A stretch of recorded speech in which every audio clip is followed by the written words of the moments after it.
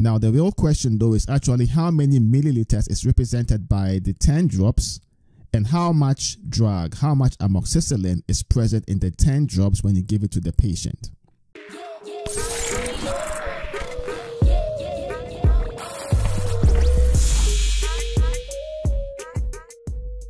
Hello, this is Dr. Damkwa, and if this is your first time here and you like to learn pharmaceutical calculations, tips, tricks, and strategies, start by subscribing and clicking the bell so you don't miss anything. So let's get right to it.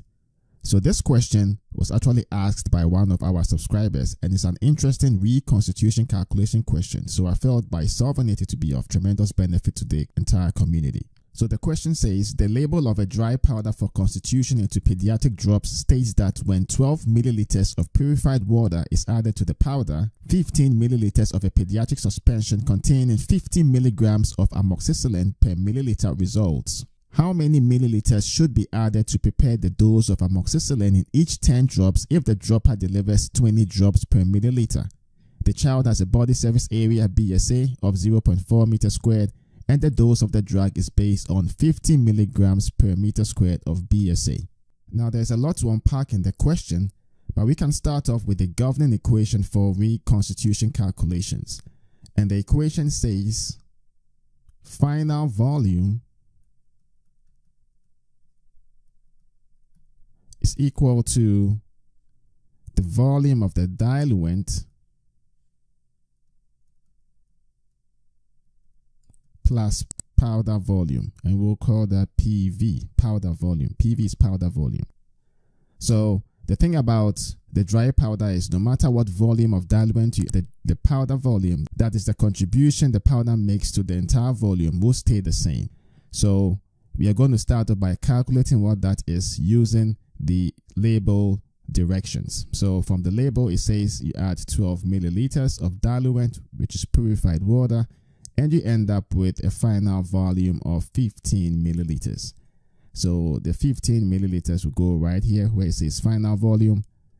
And then the volume of diluent here is 12 milliliters. And then the powder volume is what we're looking for. So we put a variable there. Let's call that X. So when we solve for x, that will give us the powder volume. So x is going to be equal to 15 milliliters minus 12 milliliters, and that gives 3 milliliters. So the powder volume is 3 milliliters. Now it's important to mention that when you follow the label directions and you add the 12 milliliters of purified water, you do end up with 15 milliliters final volume, and that volume has a concentration of 50 milligrams of amoxicillin per milliliter.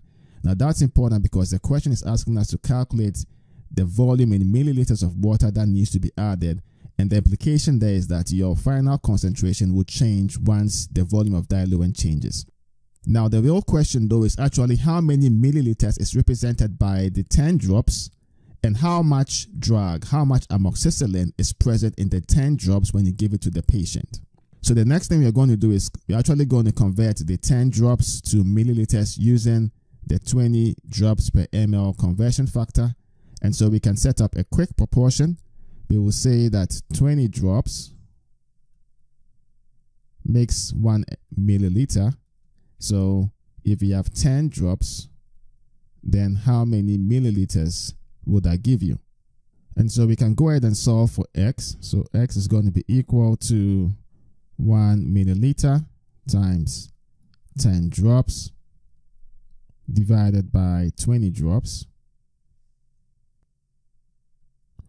The drops cancel out and you end up with 0.5 milliliters.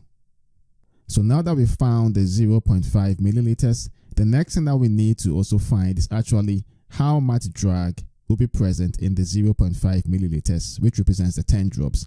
And the way we're going to do that is make use of the patient's body surface area, which is the 0.4 meter squared, and also the normalized dose, which is 50 milligrams per meter squared. So we'll go ahead and take the 50 milligrams per meter squared and multiply that by the patient's body surface area, which is 0.4 meter squared. The meter squareds cancel out, and that gives you 20 milligrams. So if we go back to the equation, we do know the powder volume because we just calculated that to be 3 ml and we're looking for the volume of diluent. So we still need to know what the final volume is so that we can actually use this equation to find the volume of the diluent. So to determine the final volume, we also need to know the actual quantity of amoxicillin dry powder that we have. And the way we do that is to make use of the original concentration, which was the 50 milligrams of amoxicillin per milliliter, and the final volume that that gave us. Because if you multiply concentration and volume, you're going to end up with the quantity. So what that would look like is you have 50 milligrams per milliliter. And once again, that's coming from this concentration. And then we multiply that by the volume, which is 15 milliliters. So if you do the math, that will give us 750 milligrams. So we have 750 milligrams of amoxicillin dry powder. And then we know the actual amount of amoxicillin that should be in the 10 drops. So we know 20 milligrams in 0.5 milliliters.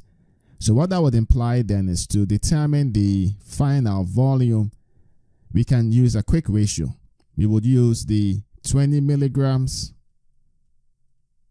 in 0.5 milliliters because that's actually the desired concentration that you are looking for.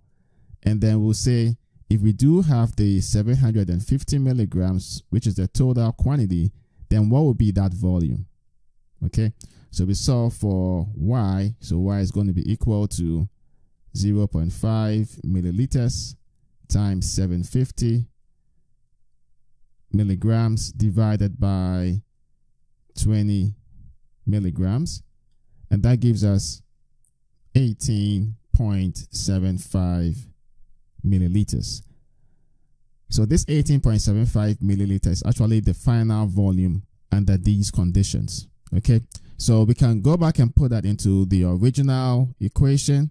So here our final volume is going to be 18.75 milliliters and that's going to be equal to the volume of diluent we not know. So we can use a variable. We'll say that is z and then plus the powder volume which we calculated to be 3 milliliters. So that's 3 so we can go ahead and solve for the unknown which is z. So z is going to be equal to 18.75. Now this is milliliters minus the powder volume, which is also 3 milliliters. That should be equal to 15.75 milliliters. So I hope you found this video tutorial useful. If you did, be sure to like it and share it. And if you have any questions, leave them in the comments and I'll get to them as soon as I see them. If you'd like to learn more pharmaceutical calculations, tips, tricks, and strategies, then start by subscribing and clicking the bell so you don't miss anything. Thank you so much for watching, and I'll see you in the next video.